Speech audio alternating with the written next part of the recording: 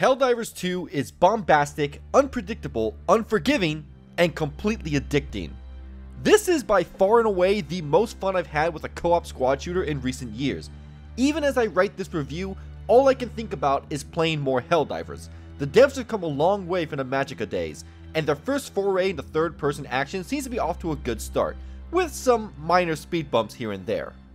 So, first things first, what exactly is Helldivers 2?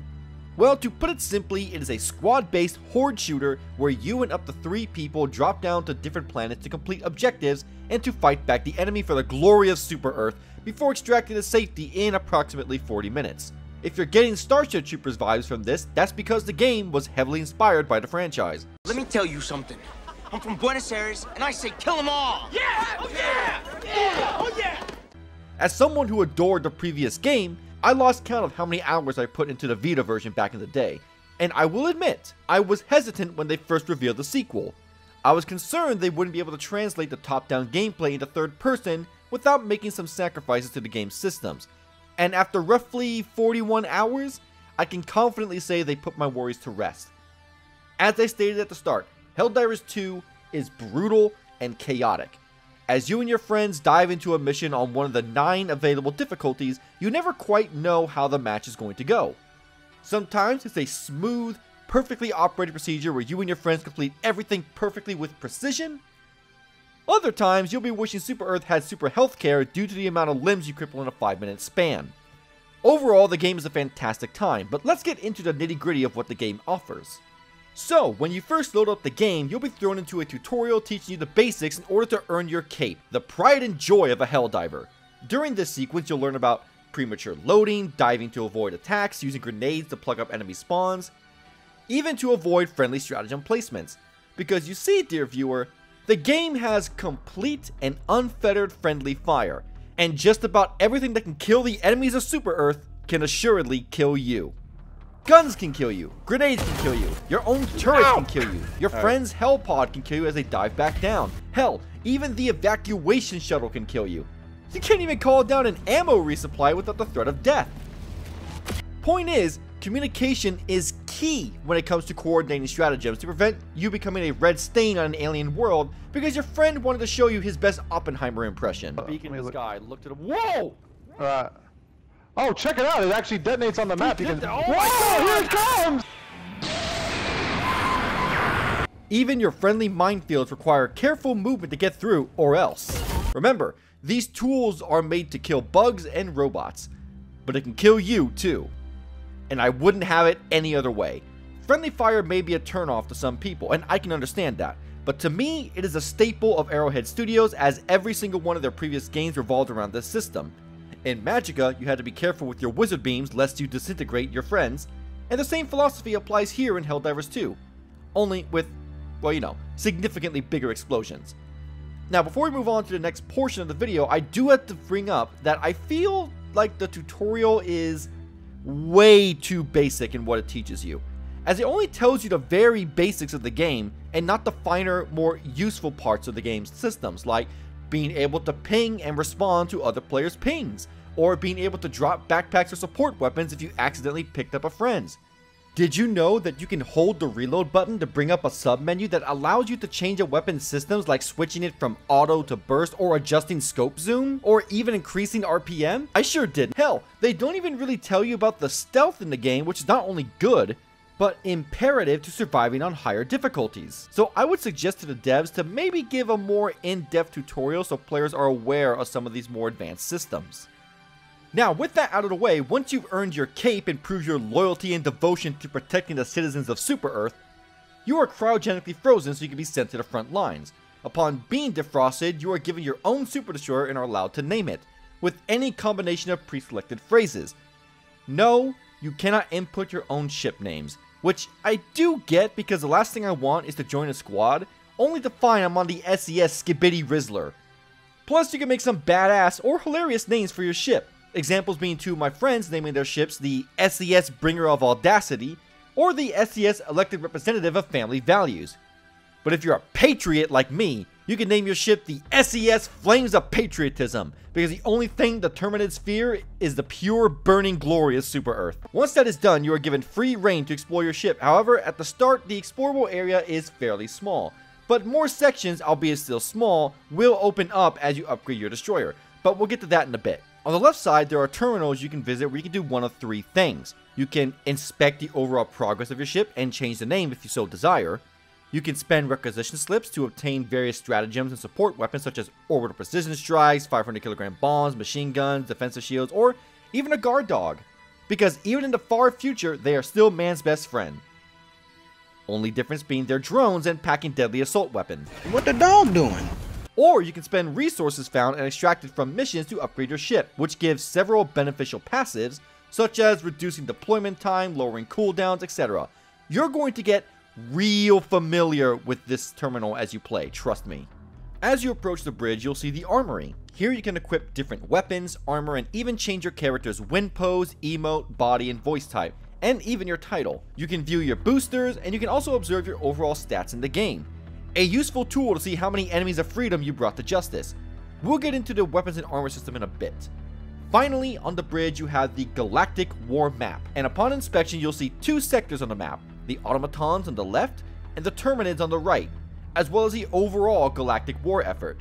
Because you see, every single player who completes missions participates in a global galactic campaign to fight back the enemies. And as you complete missions on available planets, your efforts contribute to the overall conquest of said planets. Once a planet is conquered, we can move on to either the next planet, or if a new sector is unlocked, head to those planets and contribute to the war effort there. Here is where you'll be selecting your missions, of which there are a fair amount depending on difficulty. On the lower difficulties, you'll get relatively simple missions such as raising a flag or uploading escape pod data, or maybe killing a brood commander or charger. But as you get higher difficulties, you'll get more challenging missions like launching ICBMs, evacuating civilians, destroying bug hatcheries, or even taking a fight to the highest enemy type there is, the terrible Bile Titan. And this is just on the bug side. On the automaton side, you can live out your fantasy of fighting Terminators in space Vietnam as your friends are picked off one by one by artillery cannons, rocket devastators, Hulk bruisers, or just straight up a fucking tank. The number of missions and objectives also varies based on the difficulty you choose. It's also important to note that once you start an operation on a certain difficulty, you are not allowed to change it mid-operation without forfeiting completion of said operation. Now, as you play the game, you'll have major orders, personal orders, and effects. Major orders are the overall mission every Helldiver has and is usually about conquering planets. Personal orders are daily missions you can do to earn extra war medals like killing certain enemies using certain weapons, etc. And effects are probably the most interesting aspect of the game, because there is a hidden mechanic called Game Masters. Game Masters are developers watching the overall progress and supposedly can watch your current squad doing a mission in real time, and they can either help you or actively mess with you. Some are game-wide, like giving everyone the railgun stratagem for free, or increasing strategy redeployment time by 50%.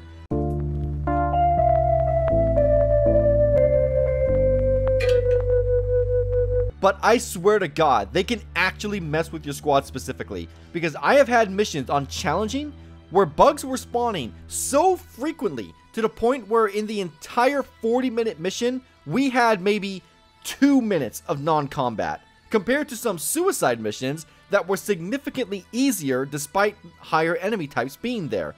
I also recall a point when I was soloing a mission and having trouble, suddenly I was getting mortar support despite not activating a mortar site or stratagem.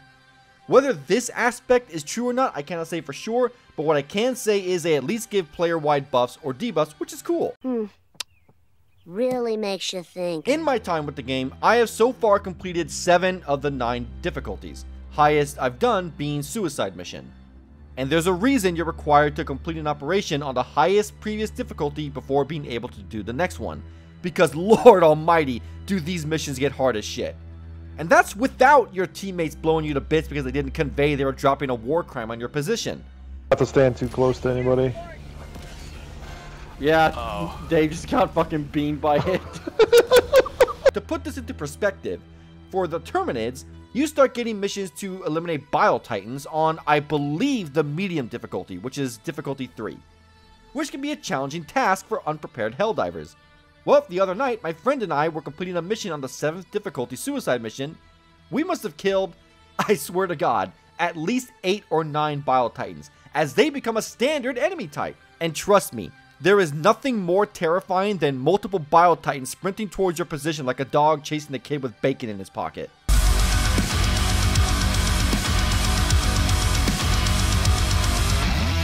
Now, once you select the mission, you and your friends can get into your Hell Pods and select your loadout. Here you can choose your weapon, stratagem, armor, and boosters to equip before diving down. Now comes the question, how do you get new weapons and armor?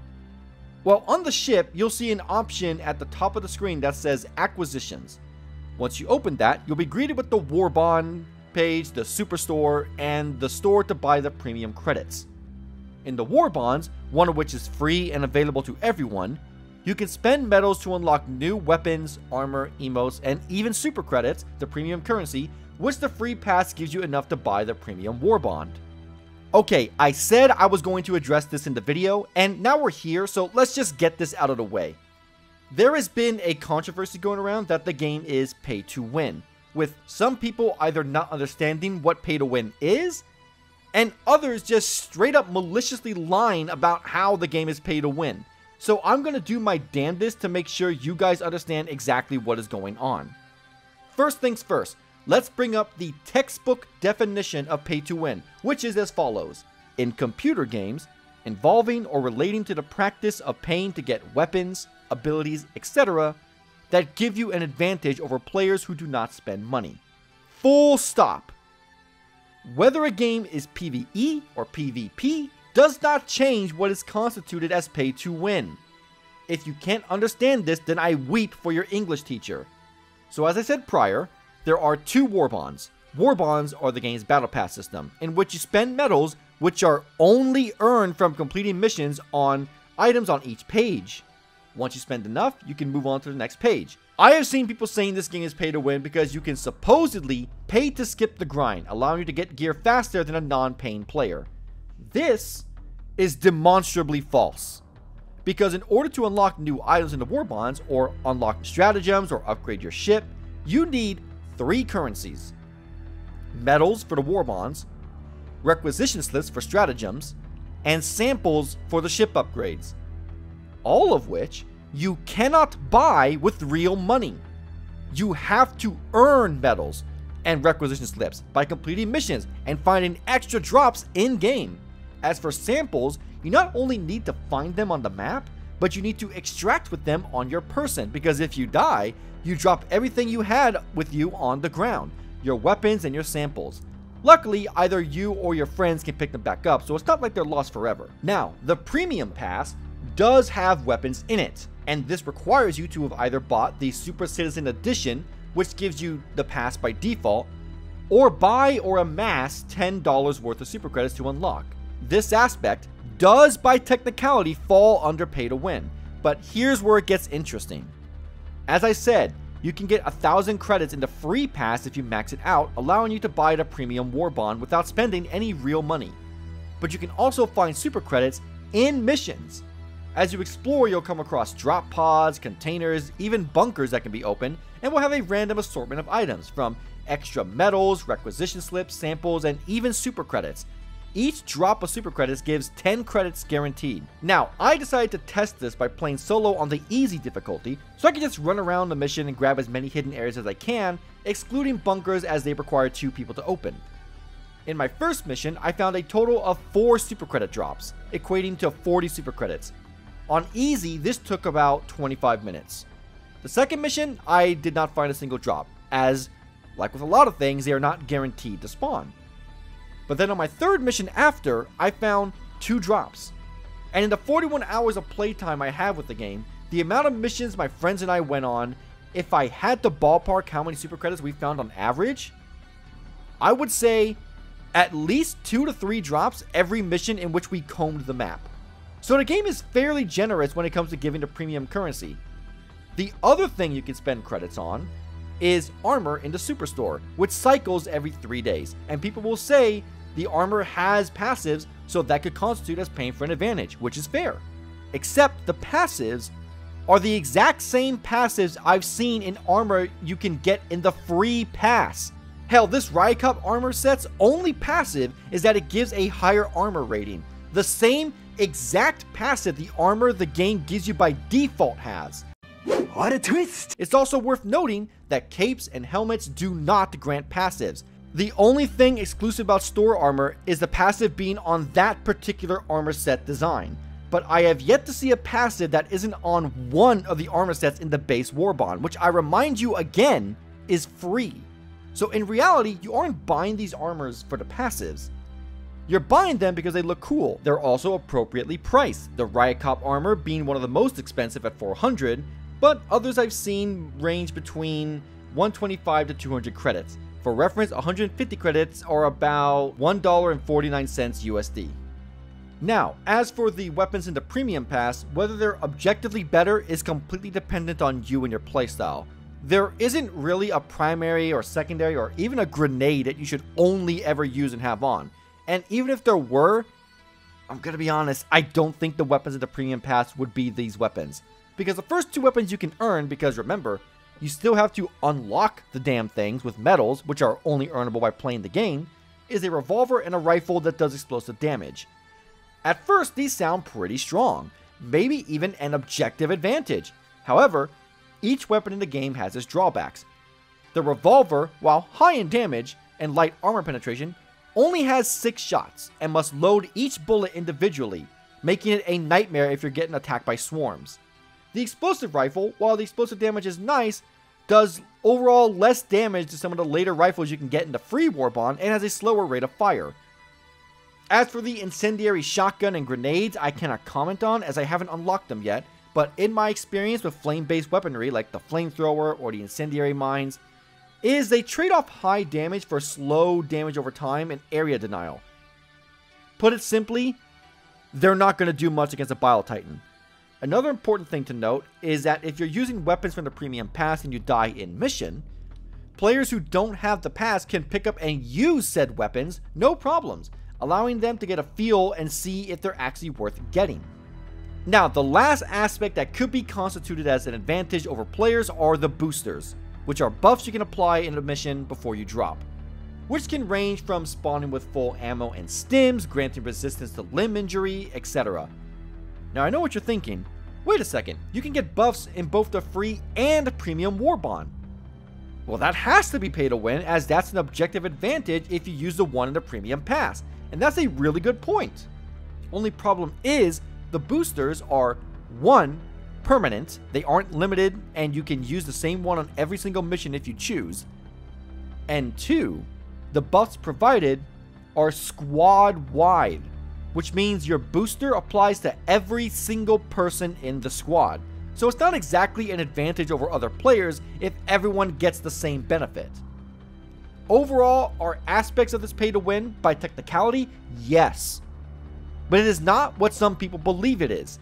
Based on some of the utter retardation I've seen over this, you would think it would be like Assassin's Creed, which not only has exclusive weapons in their cash shop, but most of the time, said weapons have exclusive abilities weapons in the base game don't and are significantly stronger than a lot of the base weaponry. Now, if you still choose not to support this game due to these points, that's totally and completely fair. I can completely understand not wanting to support a paid game that has microtransactions. I just want to make sure you understand exactly what is happening here, rather than listening to morons who get their uninformed opinion from other people who didn't do their due diligence in researching this topic. Now, back to discussing the game. Now, as I said earlier, the main focus of this game is dropping into randomized maps, completing objectives, and extracting the safety. On said maps, you'll have a plethora of things to do depending on difficulty. Clearing enemy nests, discovering points of interest, like cargo containers, bunkers, etc. In addition to the main objective, of which there can be several kinds of different missions. But there are also sub-missions you can do that are highlighted in blue. These usually are the missions that would be main objectives in the lower difficulties like trivial and easy. But as you get to higher difficulties can become tougher missions like killing a Bile Titan or clearing a Stalker lair.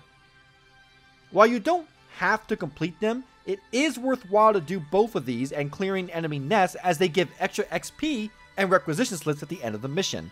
Hell, some side objectives actually make your mission easier, as there are radar dishes you can activate which will ping every minor point of interest on the map, allowing you to find each and every sample available, or a SEAF artillery cannon, which becomes an extra stratagem you can deploy in mission. On higher difficulties, these sub-objectives and enemy nests will become mandatory, as clearing enemy nests will lower the overall amount of enemy spawns in the missions. So when playing on challenging or higher, make these a priority. But just because you clear out these nests doesn't mean the map will be empty. There will always be enemy patrols wandering around. And with them, you have two options. You can either A, sneak around them if you don't want to get into a fight and waste the ammo and stratagems, or B, wipe them out so they don't become a problem later. And if you choose B, you better make damn sure you kill them quickly, as they can call for reinforcements, which can become dangerous to deal with on higher difficulties. Now, since there are only two factions currently in the game you're going to be fighting, a big problem people will have, potentially, is enemy variety. And I can say at the very least, both of the enemies have a good amount of enemy types in their hierarchy. For the bugs, you have scavengers, warriors, hunters, stalkers, bile spewers, chargers, brood commanders, and bile titans. And for the automatons, you have brawlers, commissars, scout striders, berserkers, marauders, devastators, hulk bruisers, and the tanks. All of which employ different strategies and require cunning and teamwork to take down. For example, let's take the most infamous enemy currently in the game, the bug chargers. These guys are heavily armored from all sides with the exception to their ass, and as the name suggests, they love sprinting towards you like Rhino enjoys busting through walls. I just like running through walls. Okay, I'm sorry. Uh, you see that wall? Uh, yes. yeah. I'm gonna run through Oh. On your own, these can be challenging enemies as due to their high armor, most of your weapons will be ineffective, so you have to deploy a number of strategies to deal with them. You can lure them into running into a wall to stun them, giving you time to attack their weak point.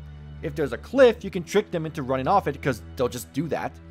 If you have a teammate, you can have a teammate act as the bait, giving the rest of the squad a chance to attack the weak point. You can even use incendiary weaponry to slowly tick down its health as fire ignores armor. But by far the most effective strategy currently is to break the armor off its legs with either a recoilless rifle or an anti-tank missile launcher. Because if you can strip its armor, you can create more weak points to hit. And that's just one enemy type. For the Hulk bruisers on the automaton side, you can employ a similar bait strat so your teammates can hit its weak point, or you can actually destroy its arms, effectively neutering its ranged options. But be careful as it can still charge into you, turning you into a PSA on how to cross the street safely. Now, overall, I will say I find the automatons to be better balanced than the bugs. It's not too challenging to strip enemies of their weapons, and when the automatons call for reinforcements, you can actually take down the dropship, unlike the bug breaches, which you cannot seal for some reason, based on what I've seen. And some of the health pools between the bug hierarchy is ridiculous. Like, I'm sorry, but the health pool for the chargers needs to be toned down a bit. I should not be more scared of dealing with three chargers than four Bile Titan. Overall, currently, the automatons are better to fight, but the bugs have better missions to grind for medals. Each planet I fought on as well has been a completely unique biome. From the freezing hellscape of Heeth to the plains of Angel's Venture to just straight up Space Vietnam, aka Malevelon Creek. And as we unlocked more planets, more biomes have been discovered, which is a great motivator for the community to push these planets to completion. Now, let's talk about the interactivity of the game, because holy shit, they went above and beyond what I expected. The amount of coordination and physics this game has is ridiculous. You have objectives that require you to verbally relay the direction the radar dish should be turned towards. You have to manually adjust targeting parameters, unseal silo hatches, and they all hit the right balance of interactivity where it's just enough to be engaging and not monotonous. You also have to be careful with stratagem placement and orbital drops because the beacons have physics, so they can just bounce off of buildings, rocks, even enemies. Hell, if you're holding one and you get knocked down, you will literally drop it. It's not going away. You'll drop it where you fell, and sayonara. And in some cases, an orbital barrage beacon can attach to an enemy as they barrel towards you, bringing the bang straight to your front door. You even have weapons like the recoilless rifle or the autocannon that require an ammo backpack to house the ammo. And you could wear it yourself so you can slowly reload. Or you can have a friend wear it so he can quickly reload you, allowing you to unleash a barrage of destruction. Just don't stand too close to the back as there is backblast. Not a backblast.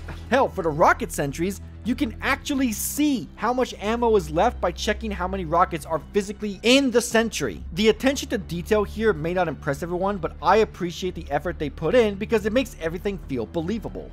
There were also a fair amount of server problems when the game launched due to the devs not expecting the amount of players, which is fair as the last game was fairly niche. They seem to have fixed it somewhat, however I still get server errors every now and then. The game definitely isn't bug free, and I don't mean the Terminids. I've had crashing, clipping under the environment, to just the other night, my frame rate slowing to 4 frames a second due to me hosting. Travis, I'm getting the same bug you are. My frame rate is gradually getting lower and lower. Oh my god, this this is insane. This is wild. Yeah, dude, it's This it's is this is bad. This is a bad bug. This is a really bad bug. Luckily, they quickly patched this in a matter of hours, so it's currently not happening, but it's still worth noting that the launch stability of the game has been less than stellar. You sure about that? You sure about that? Update, so not only was I wrong about the patch fixing the frame rate bug, but it straight up seems worse than ever, happening to players at least once within 2 to 3 missions and always when they're hosting and on the higher difficulties. As I was just playing to grab more footage, and surprise surprise, my FPS tanked to sub 15 FPS. So, this is a really bad bug, considering the game's focus is co-op, so I really hope they can fix this soon. Sweet liberty! Another issue is honestly some of the weaponry types need a buff. A big example being the laser weapons. And I get it, since they technically have unlimited ammo, they can't do as much damage. But I swear to god, they are sometimes absolutely useless against the bugs on higher difficulties. The laser cannon in particular, I just don't see a reason I'd ever bring that over a railgun or an autocannon, or even the grenade launcher. The same goes for some of the status effects, like napalm or static field or gas strikes, which serve as a way for you to keep enemies at bay, and supposedly, the static strike is supposed to stun enemies, but I swear to god, I've seen enemies run right through it no problem. Now, this could be a bug, to be completely fair, but I can't say for certain. And while the gas strikes can corrode enemies, it's similar to incendiary damage in which the damage ticks are just too low to be effective on higher difficulties. You'd be better served just bringing two turrets to keep them off you. Honestly, straight ballistic damage seems to be the way to go, and as I said prior, under this weapon type, they seem to have fairly balanced its positives and negatives. The machine pistol is great for dealing with small scale enemies quickly, but it bleeds through ammo. The pump action shotgun deals great damage, but shells have to be loaded individually. The explosive rifle is good for hitting enemies in groups, but has a fairly slow rate of fire and lower overall damage compared to other weapons. The last thing I want to talk about is the sound design and music, because my god, they did a fantastic job. The weapons are punchy, the explosives are shell shocking, and the music perfectly encapsulates the Starship Troopers vibe they're going for.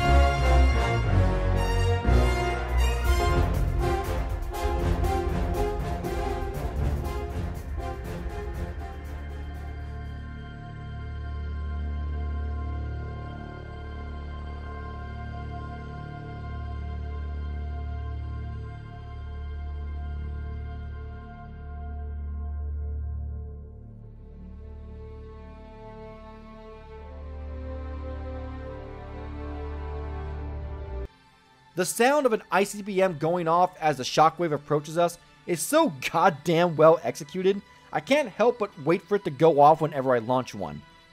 Your characters also have a fair amount of personality as well, from screaming things like Liberty, to laughing maniacally as you continuously fire a machine gun.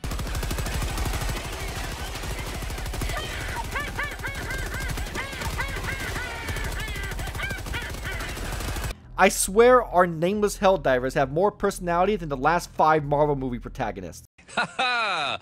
the overall feel and tone they wanted to set for the game, I would say, has been nailed.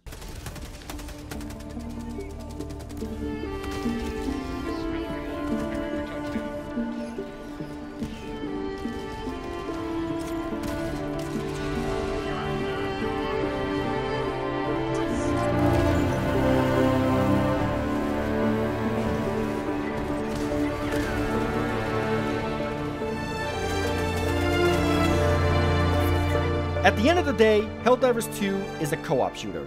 So while you can play solo, I would recommend this to people who have friends who are interested in playing the game, or people who don't mind matchmaking with randoms. If you're looking for a solo game, this isn't it. Helldivers 2 is a team game at its core. Arrowhead Studios set out to make a fun co-op shooter, and as far as this crab's concerned, they absolutely delivered. And thankfully, unlike the first game, is insanely more popular. So much so, they're starting to hire more devs due to the success of the game so they can not only accelerate, but beef up content plans post-launch. Post-launch content, they stated, will be free to everyone, with mechs returning shortly after launch. If you're looking for a four-player game you and your friends can just have fun playing, I cannot recommend Helldivers 2 enough. It's absolutely stellar.